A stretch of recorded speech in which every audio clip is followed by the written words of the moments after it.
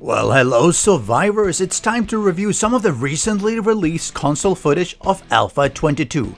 Definitely great to be getting this from the FunPimps courtesy of the recent PAX East exhibition. This is running on the PlayStation 5 as opposed to the previous PlayStation 4 version.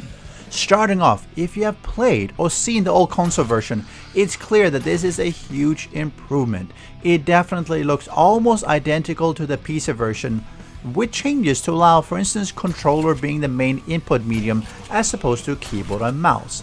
Zombies, buildings, POIs, weapons, art decoration, sounds, and so on look to be pretty much the same.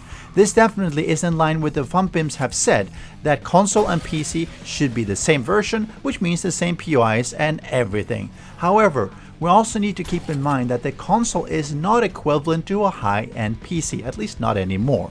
Settings of various kinds will differ, such as graphic settings, being tuned to what the console can comfortably handle while still having acceptable FPS and performance. Now there are other settings that will differ that are not specifically graphical settings or even functionality settings, but things like it will be 4-player co-op, uh, much like the existing console version, not 8-player. Map size will start off as 8K maximum. There will be no dedicated servers for console players initially. And unfortunately, crossplay will only come in down the line. Now, of course, there has been some worry that the console version will be sort of a stripped down PC version, but Roland has been addressing this on the forums as well, that he doesn't see that happening, even though he talks about that limit of 8K maps initially, and it's going to be some force configuration settings, 4 player maximum initially, and so on. And I think this is reasonable. There will be some limitation for console, even though, of course, they will look at how can they minimize them and even remove them when they are no longer needed in the future.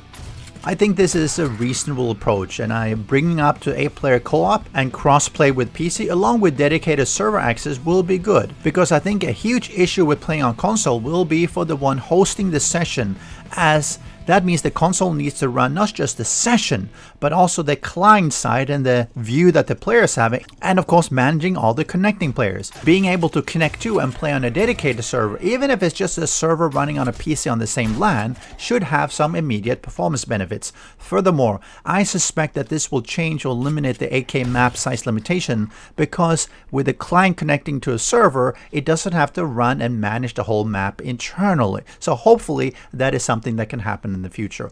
One concern I have in watching the footage is that even PC clients can suffer from performance issues during Blood Moons unless they're sufficiently high-end PCs. Will this be an issue on console? Will you even be able to boost the concurrent zombie count up from the default 8 to 16, 32 or more to really make it a horde game? It is unknown at this time how that impacts performance and thus whether it is enabled.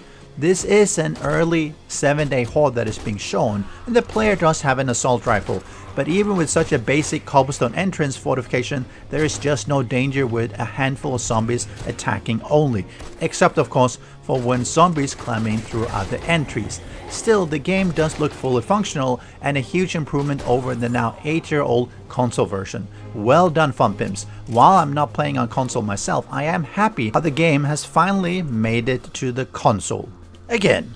Coming this summer on console. Well, the question now is it northern or southern hemisphere that summer refers to? We'll find out.